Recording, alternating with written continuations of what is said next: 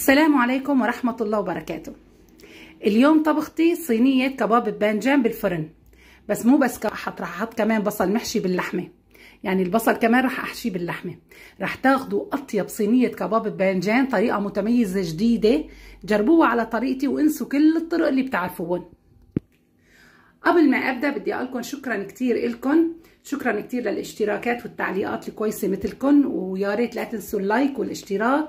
وتفعيل زر الجرس والتعليق الحلو مثلكم كمان. شكرا كثير هون أنا عندي كباب فروج وعندي كيلو ونص عفوا من الكباب الفروج أو لحم الفروج مفروم.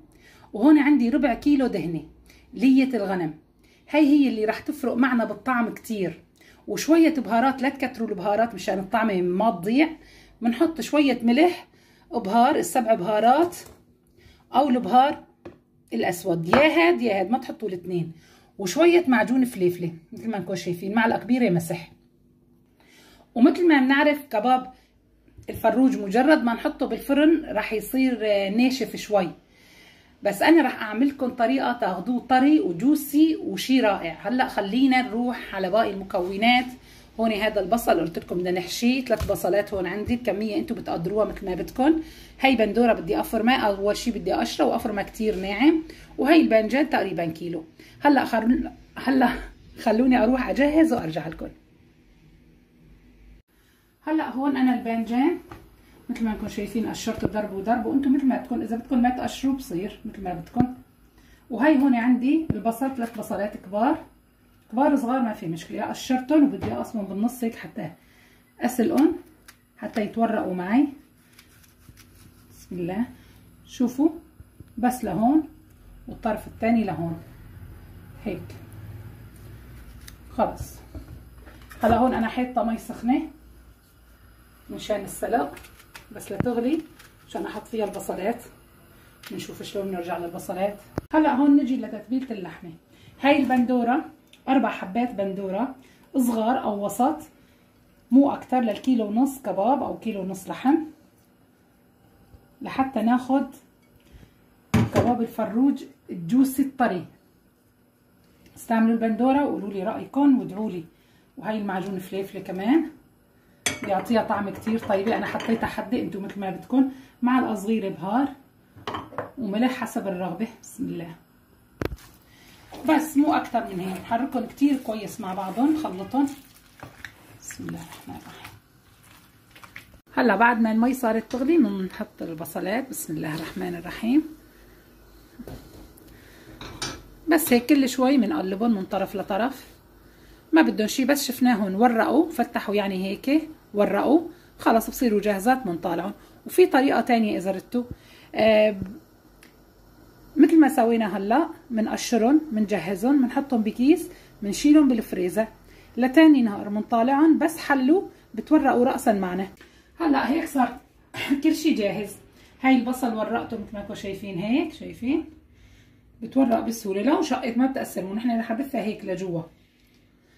وهي الباذنجان كمان قطعتهم هيك.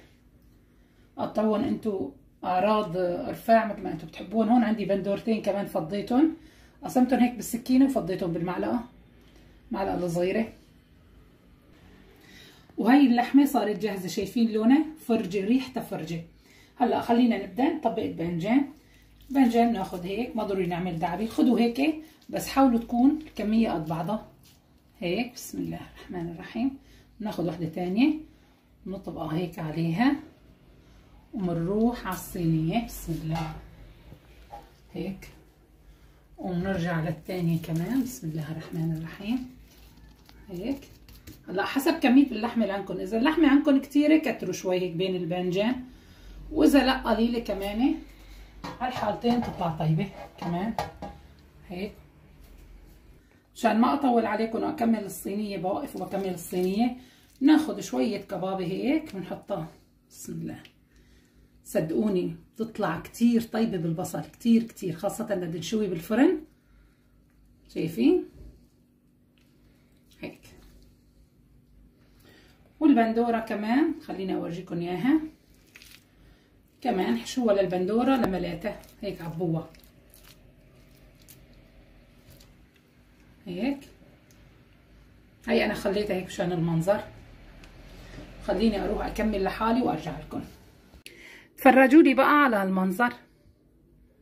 شوفوا شو شي بشهي والله مو بس منظر طعمته فعلا كتير كتير طيب كتير رح تعجبكم وإن شاء الله رح تدعوا لي هلأ أبوي بعد ما جهزتها هيك هون أنا عندي فليفلة زاد عندي لأني لحمة حشيت فليفلة حمراء وفليفلة خضراء لأني زاد عندي شقفه لحمة.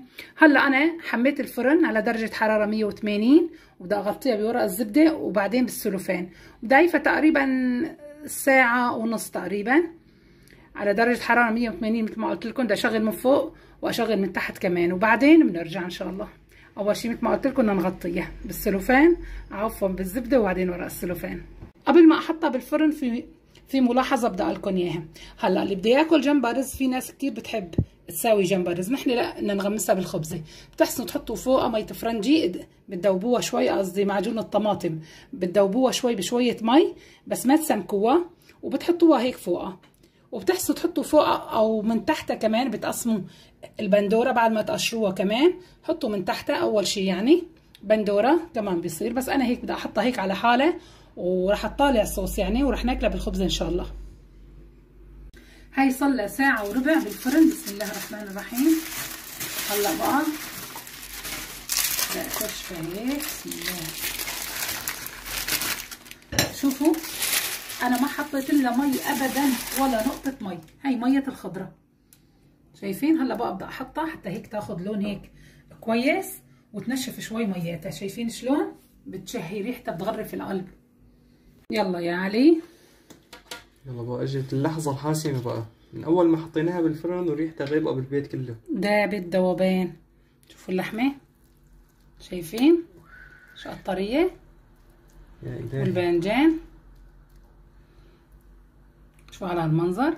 أكثر ثنائي طيب بالحياة الباذنجان مع اللحمة. ورجينا كمان البصل بقى شلون طلع. وهي البصل. بسم الله الرحمن الرحيم. الله. شايف أوه إيدي سخنة. العصارة يا عصارة. تفرج. يا إلهي يا إلهي. شو لون اللحمة؟ منظومة. الصغير لا يتحمل. يلا دوق لنا رأيك. أعطينا وحدة فليفلة كمان. وهي فليفلة. تفرج.